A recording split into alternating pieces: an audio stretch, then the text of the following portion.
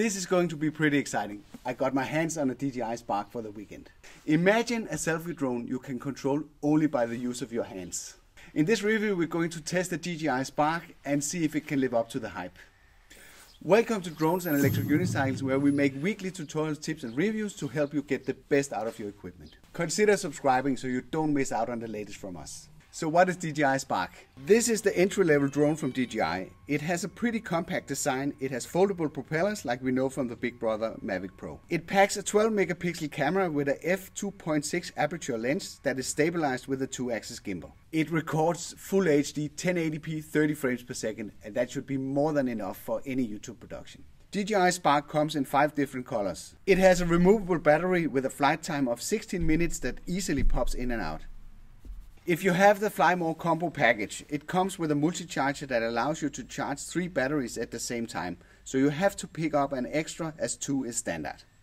You can charge the batteries uh, if you buy a dedicated car charger so you never run out of juice on the go. Spark has obstacle 3D avoidance sensors in the front. It has downward sensors for stabilizing hovering. The front-facing sensors should be upgraded to do an even better job than Mavic. You can fly the DJI Spark with a remote, your phone or with the new exciting hand gestures. The range can be extended up to 2 miles with the remote. With the Wi-Fi connection of your phone, you have to settle for less than 80 meters horizontal and 50 meters in the height. You can fly FPV with the DJI Spark as it also works with the DJI goggles. It's around 3 to 4 months since DJI Spark was announced.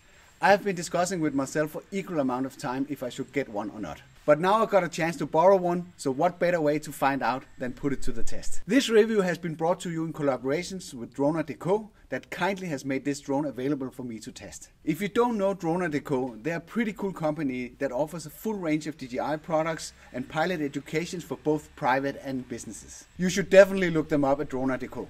I've been a Mavic Pro owner for the last 9 months as you probably know. This drone packs an impressive set of specs compared to the DJI Spark, but it's also twice the price.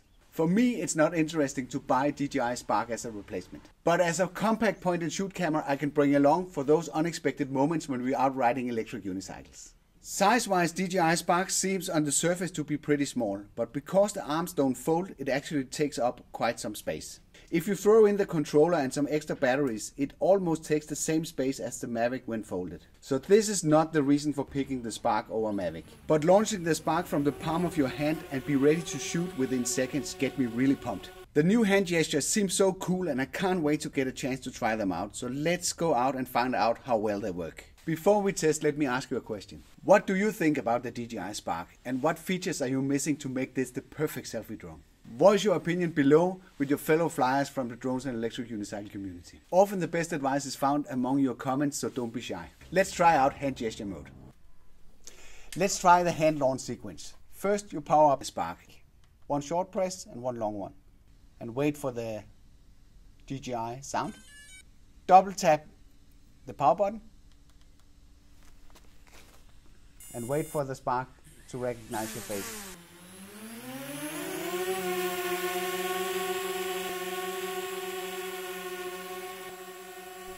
Lift.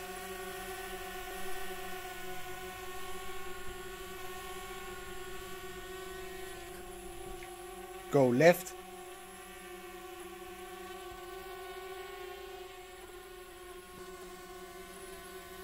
Go right.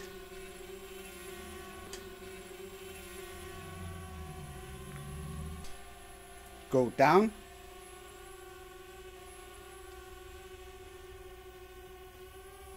go up, circle round,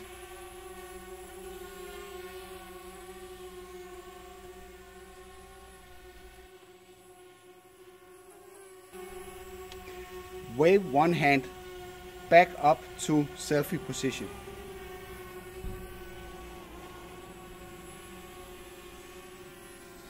Take picture.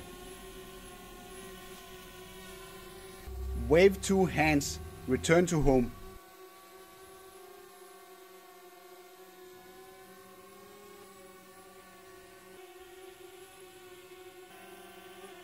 Prepare to land. One thing that's really annoying is there's no gesture for starting video recording. There is a workaround that I want to show you, but it makes the whole solution less elegant. You need to connect your smartphone, start video recording, and then hand launch the drone. Video keeps recording while using the hand gestures.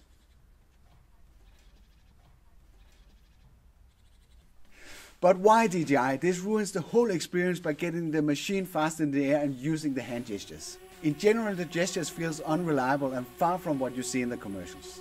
They seem more like a gimmick than a tool right now. But who knows, that might change in the future. Now we have the smartphone going, we can go through the intelligent flight modes that will take your experience even further. There are four modes available and you can activate them through the DJI Go app. This of course requires a little more planning compared to the hand gestures. These are the modes available. Rocket. Ascent with the camera pointing downward.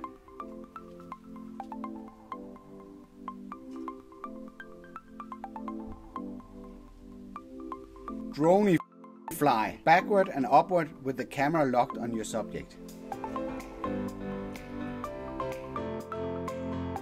Circle. Circle around your target.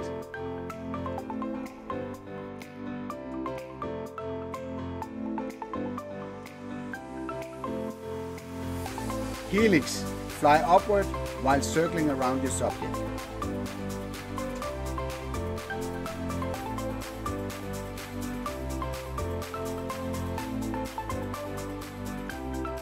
These options are the intelligent flight modes called QuickShot. You have two additional options through the app, and those are Tap Fly, where it flies in the direction where you tap on the screen while sensing obstacles. With Active Track, you can select between Trace and Profile. Trace Track your target in the front or behind or even circle around it.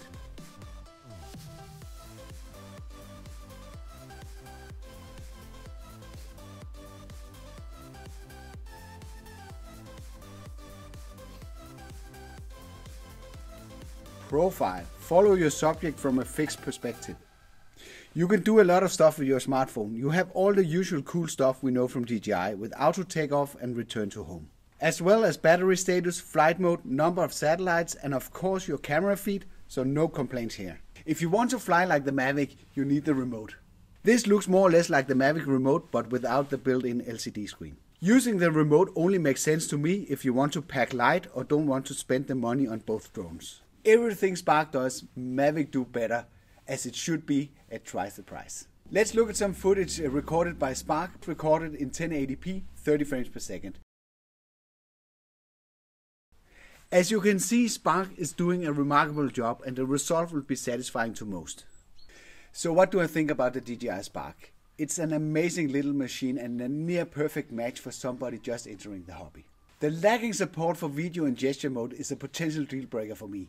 The same goes with the unreliable response to hand gestures. I did experience problems with poor radio channel quality and lost connection to the Spark at one point, so be careful when using Wi-Fi. Coming from Mavic Pro, the flight times feel very short. Low battery warning.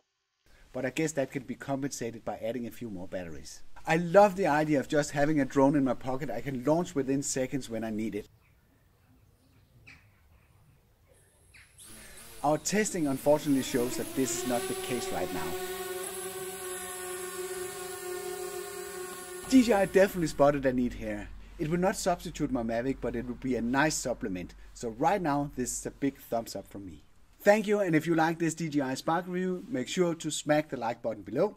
Don't hold back on the comments what you think about the DJI Spark. Have a nice day and see you in the next one.